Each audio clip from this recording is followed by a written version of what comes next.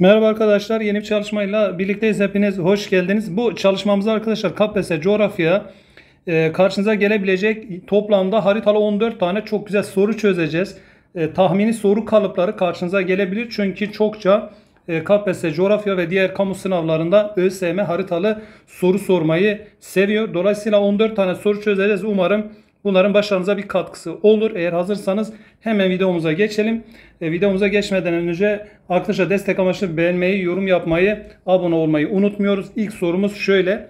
Yukarıdaki haritada işaretli merkezlerin hangisinde 21 Aralık'ta şöyle arkadaşlar 21 Aralık'ta yaşanan gece süresi daha uzun yerel e, saat daha ileridedir arkadaşlar. Şimdi arkadaşlar bu soruyu incelediğimizde 21 Aralık şöyle esas aldığımızda 21 Aralık sevgili dostlarım e, güney yarım kürede güney yarım kürede e, en uzun gündüzlerin kuzey yarım kürede ise en uzun gecelerin yaşandığı e, bir dönem.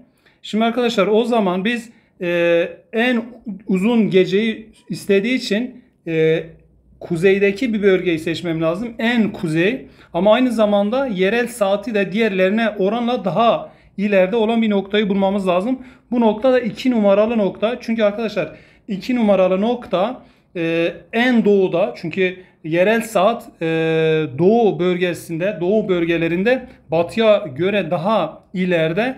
E, aynı zamanda burası kuzeye yakın olduğu için de en uzun gecenin de e, yaşandığı bölgedir. Dolayısıyla 2 numaralı bölge hem en uzun gecenin yaşandığı, daha gece süresinin e, uzun olduğu ama aynı zamanda yerel saatin de e, diğerlerine oranla daha ileride olduğu bir bölge. Dolayısıyla doğru cevap şıkkımız burada nedir? B şıkkıdır sevgili arkadaşlarım.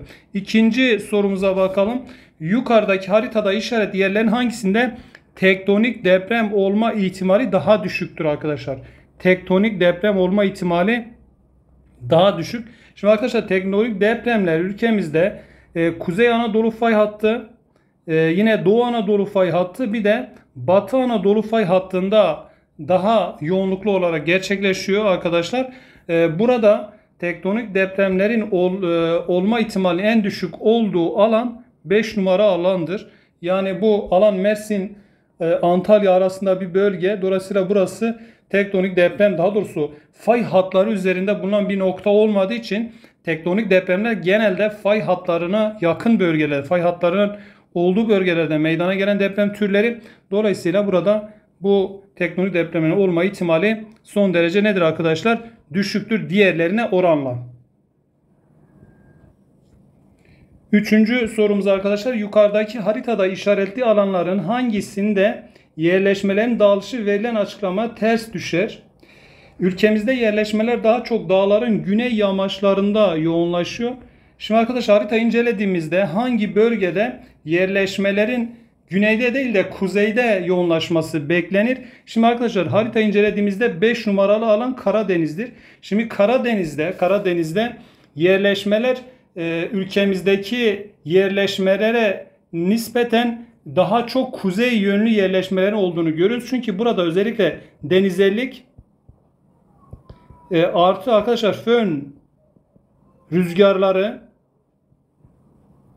bu e, durumun tersine dönmesine etkilidir. Yani 1 numara, 2 numara, 3 ve 4 numaralı alanlarda yerleşmeler e, dağların genelde güney yamaçlarında yoğunlaşırken 5 numaralı alanda dağların daha çok kuzey alanda neden? Özellikle de deniz etkisi ve e, yerel rüzgar olan fön rüzgarların etkisiyle yerleşmeler güneyde değil e, Karadeniz'e tersine e, kuzeyde daha fazla yerleşmiş. Dolayısıyla burada doğru cevap şıkkımız ne olur arkadaşlar?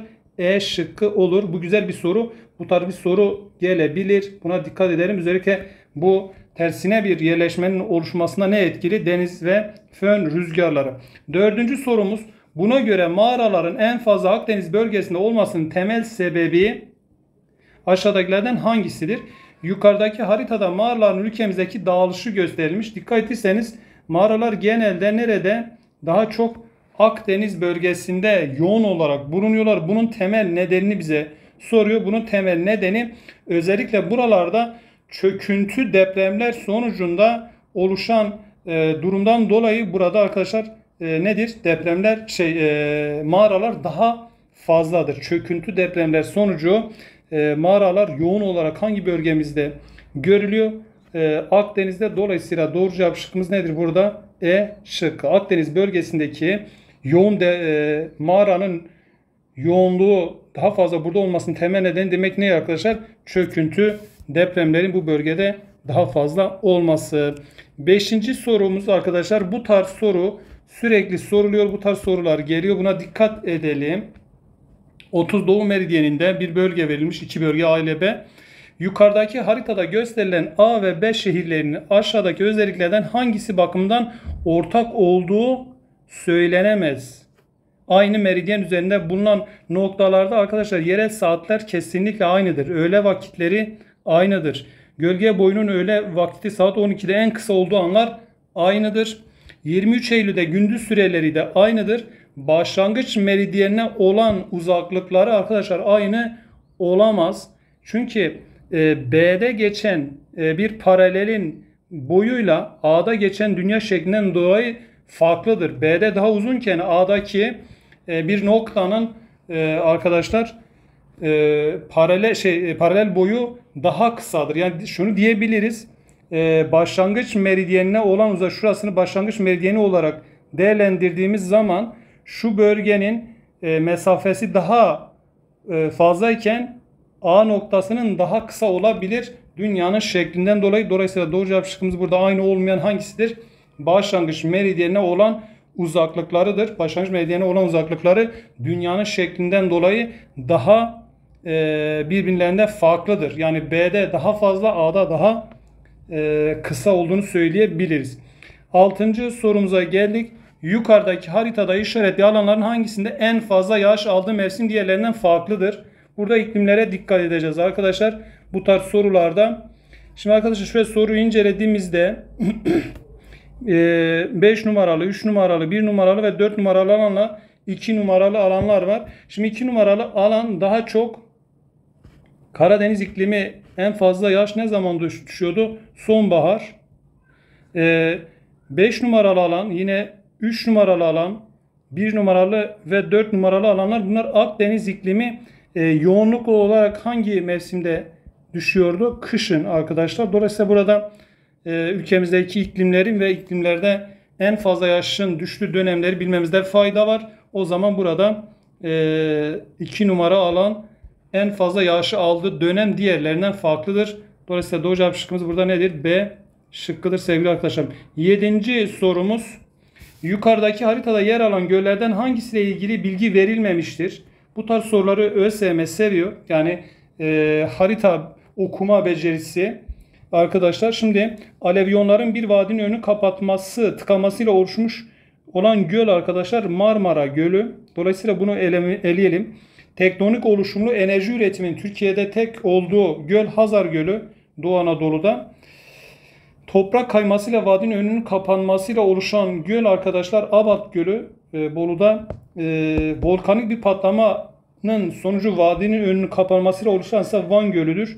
Dolayısıyla burada bahsedilmeyen göl hangisi? E şıkkı e, Tuz Gölü ile ilgili bir bilgi yok. Bu tarz sorulara yine dikkat edelim. Bu tarz e, soruları ÖSYM seviyor. Yani hem bilgi hem okuma bir, e, oku, o, harita okuma becerisini ölçüyor. Buna dikkat ediyoruz. Sekizinci sorumuz. Buna göre işaretlenen hayvancılık, hayvancılık yörelerden hangisinde yanlış verilmiştir? Yine aynı benzer bir soru. Bu tarz benzer yukarıdaki soruyla aynı. Yukarıdaki haritada hayvancılığın yoğun olduğu yerler gösterilmiştir. Arkadaşlar şimdi bakalım A, böl, A alanı e, Diyarbakır İpek böcekçiliği yoğun olarak yapılıyor. Bu doğru arkadaşlar. Manda genelde Samsun'a Karadeniz'de e, yetiştiriliyor e, benzeri. E, arıcılık arkadaşlar, arı arının gösterildiği yer genelde Doğu Karadeniz, işte Rize bölgesi, Artvin yoğun doğru.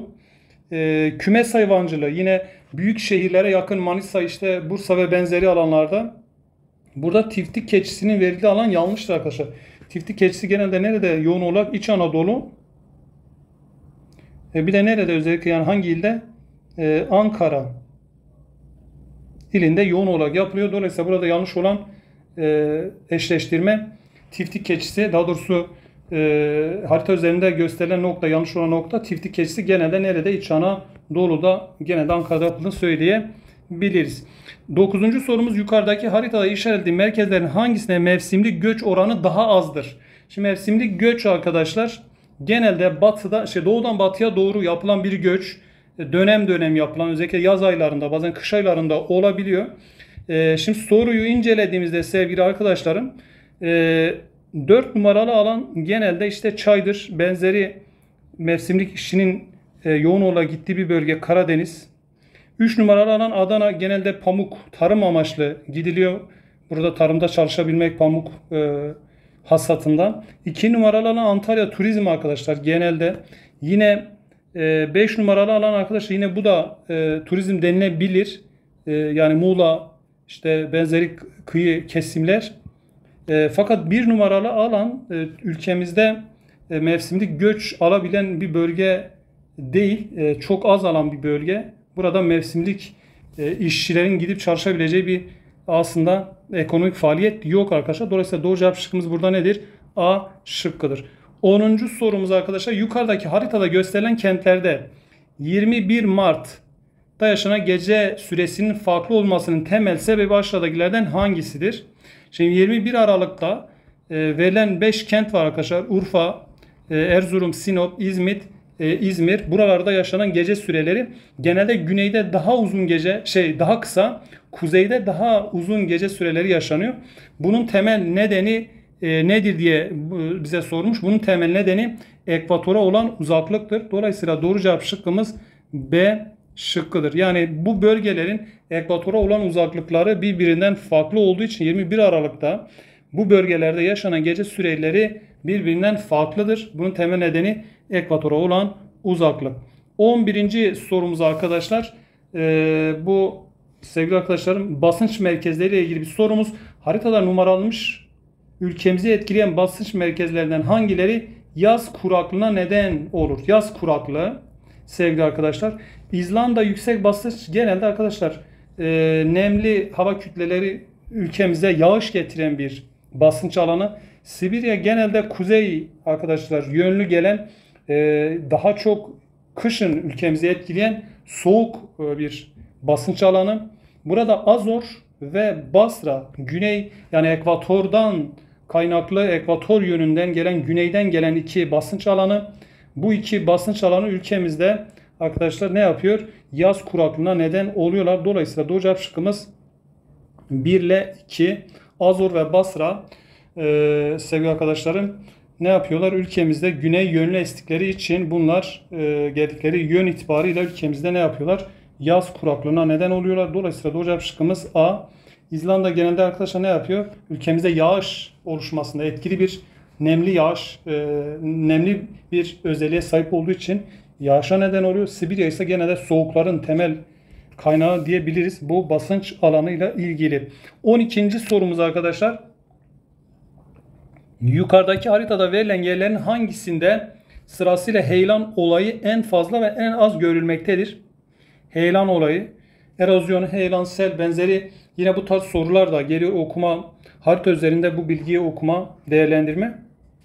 Şimdi arkadaşlar heyelan şu, heyelan toprak kaymasıydı. Özellikle Karadeniz'de yoğun yağışların sonucunda toprağın şişmesi ve e, bir e, arkadaşlar dağın yamacı boyunca kayması anlamına geliyor. Dolayısıyla heyelanın en fazla yoğun yaşandığı bölge 2 numaralı alan diyebiliriz.